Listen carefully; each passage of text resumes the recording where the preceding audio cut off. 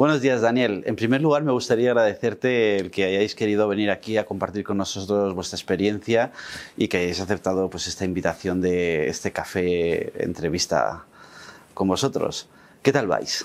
Pues bien, la verdad que bastante bien. Este año me he ocupado, pero vamos, me gustaría a mí agradeceros a vosotros porque siempre nos invitáis, que nosotros ya aquí somos veteranos en, estas colaboraciones con vosotros y, bueno, un, placer, la verdad. Daniel, en primer lugar lo que quería hablar contigo era acerca de vuestra experiencia con SellPoint. Sé que ya tenéis bastantes años de experiencia con nosotros, es decir, eh, lleváis bastante tiempo trabajando con nosotros. ¿Cómo empezasteis con nosotros? ¿Por qué decidisteis ir con SellPoint?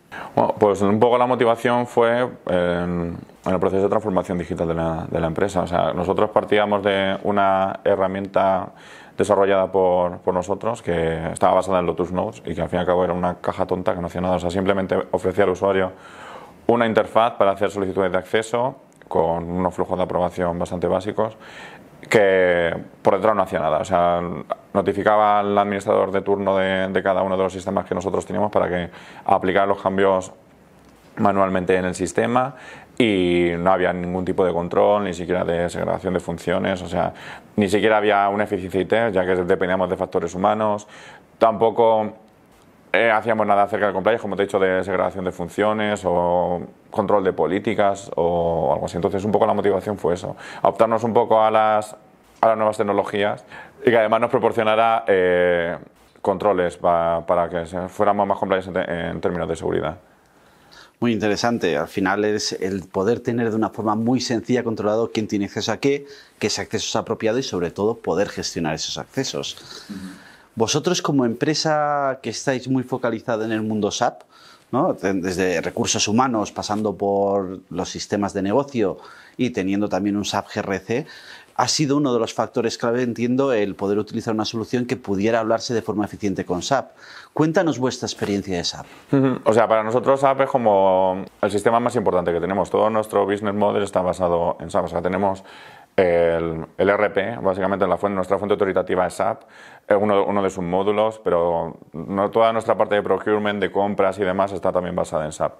Entonces, eh, la potencia que nos ofrecía SailPoint era bastante buena como para controlar los accesos. Es verdad que nosotros la hemos aumentado, o sea, hemos eh, configurado un poco los flujos de, solicitud de acceso para que se ajuste más a nuestras necesidades de, negocio, ya que tenemos un, modelado de roles de SAP bastante complejo. O sea, date cuenta que gestionamos un montón de países a nivel internacional, alrededor de 40.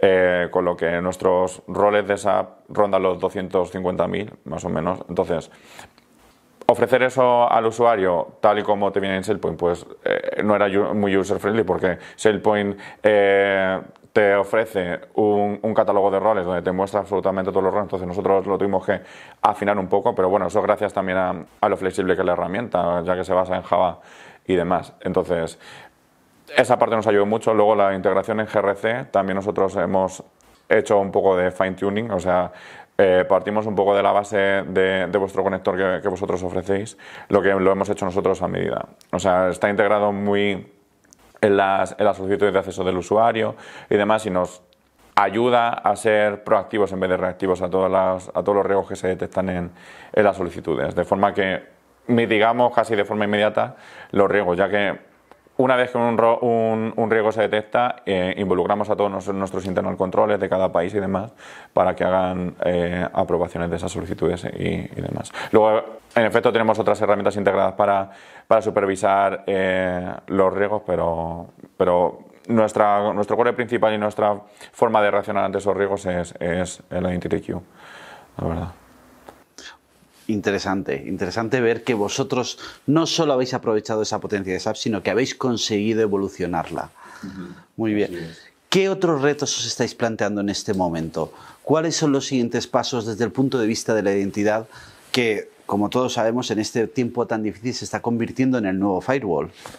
Pues actualmente, o sea, lo que nosotros eh, estamos más verdes es un poco en el modelado de roles, pero eh, a nivel general, o sea, no solo no a nivel de SAP, porque a nivel de SAP estamos maduros, sino a nivel general. O sea, necesitamos de alguna forma dar un paso más eh, en la forma en la que los roles se asignan a los usuarios en base a perfiles, en base, por ejemplo, a, atributos de la identidad digamos, a atributos organizativos, como puede ser el, el perfil o, o la posición en la que está o el departamento, de forma que nosotros nos proporcione aún más eficiencia IT, que nosotros a día de hoy estamos muy verdes.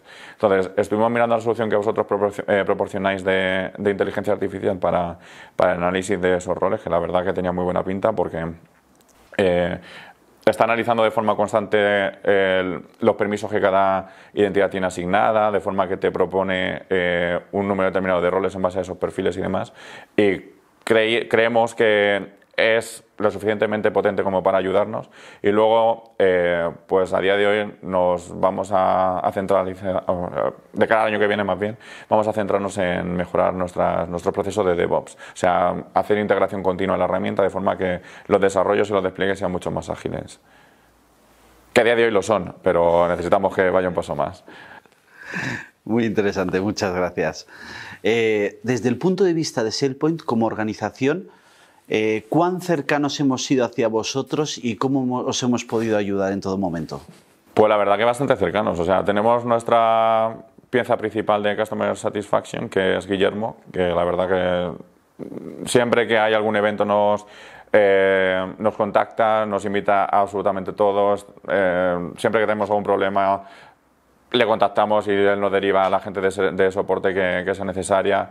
Eh, gracias a él, eh, por ejemplo, estuvimos participando en el, en el Navigate, nos invitó al Navigate y, y, bueno, yo mismo estuve también haciendo entrevista con Nicole. Y, bueno, la verdad que por esa parte, bajo mi punto de vista, no hay eh, otro proveedor ah, que nos dé esa, ese soporte del Customer Satisfaction, la verdad. Luego, de cara a la parte de soporte, la verdad que nosotros hemos tenido también una relación muy estrecha. Hace poco eh, actualizamos a la versión 8.0 y estuvimos codo a codo con, con, la gente de soporte para que nos guiaran sobre eh, hacer, en el proceso de, actualización. Y la verdad que fue bastante satisfactorio. Giuseppe fue el, el, chico que nos estuvo ayudando. Y a día de hoy también tenemos algunas cosas con, con, con soporte. Estamos haciendo análisis de, de nuestro código de forma a ver cómo podemos mejorar para que sea los procesos mucho más eficientes y demás. Entonces estamos ahí haciendo un assessment con, con vosotros que tiene buena pinta. Me alegra que el puente esté cerca de vosotros y sobre todo que os esté ayudando de una forma eficiente. Por mi parte, Daniel, agradecerte otra vez el que hayas estado aquí con nosotros. Eh, valoramos muchísimo clientes como vosotros que están comprometidos con tener una buena solución y que nos ayudan también a nosotros, a los fabricantes, a mejorar. Y eh, muchas gracias por tu tiempo. Gracias a vosotros.